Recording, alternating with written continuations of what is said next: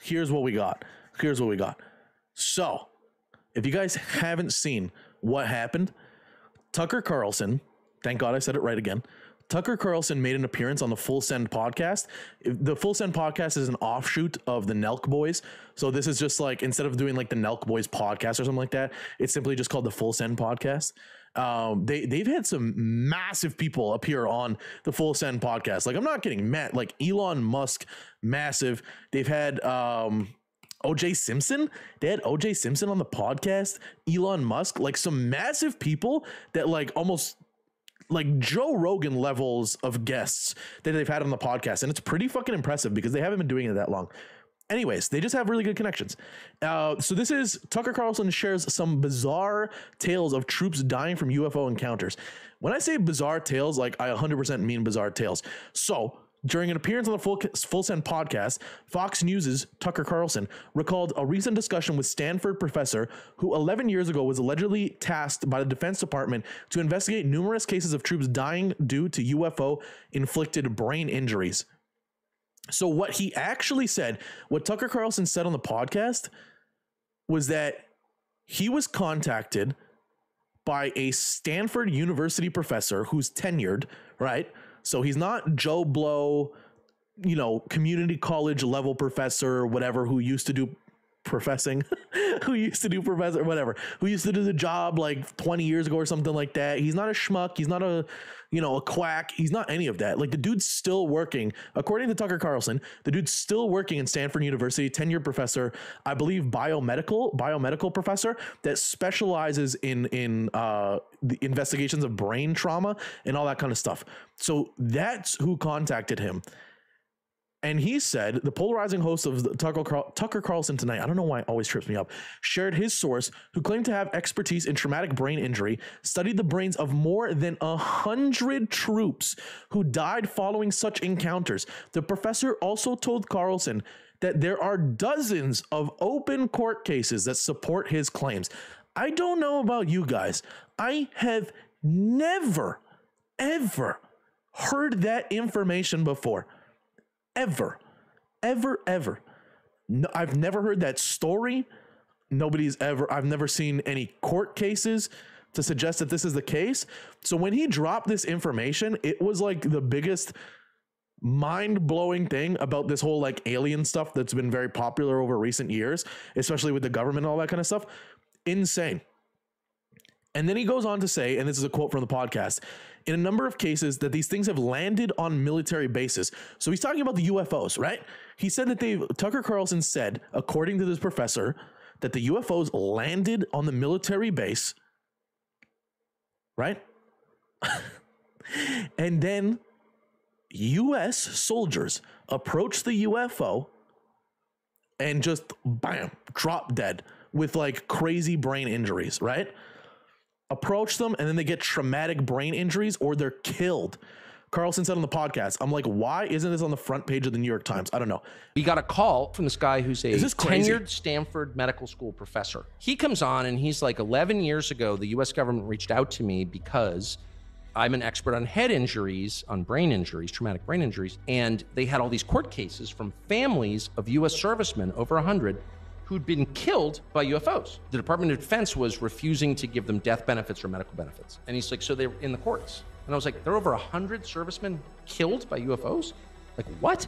He's like, yeah. And there are court cases about it. I'm like, why isn't this on the front page of the New York Times? I don't know. And in a number of cases, these things have landed on military bases, including famously in Germany, in West Germany in the 70s. And servicemen have approached them. And they approach and they get traumatic brain injury or they're killed. And he studied their brains. That's crazy. That's crazy, dude. That is that is absolutely crazy. So from the 70s, 80s, 90s, etc., over a hundred U.S. servicemen. There's open court cases like as we speak, and according to that university professor, they hired they hired that university professor to investigate the brain. The Defense Department brought on as like I guess an expert witness or something like that to investigate the brain trauma.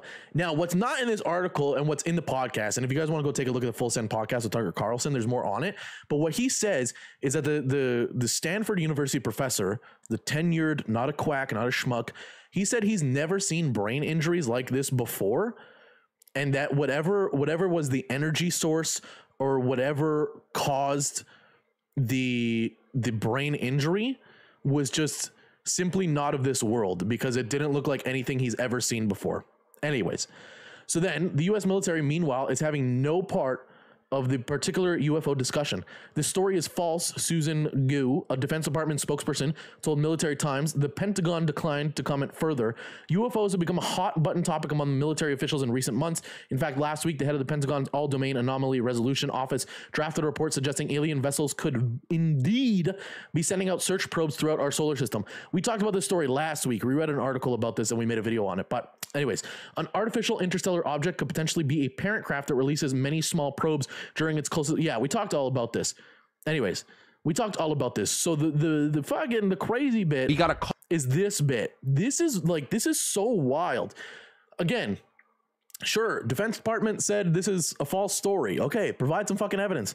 You know what I mean? If there's if there's some open court cases, show them, man. You know what I mean? Show or show the non-existence of these open court cases. The Stanford University professor should 100% come forward and show whatever sort of like because it's not secret. Show whatever public information that you're available to show or that you can show if it's closed cases and they're in the public domain. Show them show them. Show like whatever the fuck this is. Because this is wild. Uh, over 100 us servicemen have died in regards to like coming into contact with ufos on us military bases from the 70s 80s 90s and onwards. That's wild claim. Super wild claim. Anyways what we typically do at the end of these ufo discussions is i give my opinions on what these three things could be. Either you know it's all bullshit. Either it's all bullshit and none of this is true and none of this has happened ever. Which is why i'm saying the stanford whoever tucker carlson is talking about the stanford university professor he should go out and show whatever evidence he has. Great. Then tucker carlson should investigate a little bit more and put this on his show maybe make a video or something about it because that would also be great the Pentagon should come out and the Defense Department should come out because these are crazy accusations. Should come out and suggest whether they like prove give provide evidence. Excuse me, provide evidence of whether this is false or not, and whether this is true or not, or there's any substantiating factors to any of this. Or, on the other hand, this could just be another breadcrumb in the long trail of the UFO saga that we've been seeing over the last couple of years about like the government giving out little breadcrumbs here and there. That could also be what the case is and that something bigger is down the line or on the longer flip side of all of that what the case might be is that this is all just one big distraction. That's a little bit more fucking uh, that's a little bit more conspiracy rabbit hole. I mean this whole thing is conspiracy rabbit hole but this thing in particular like you know it might be a distraction for something bigger that's going on.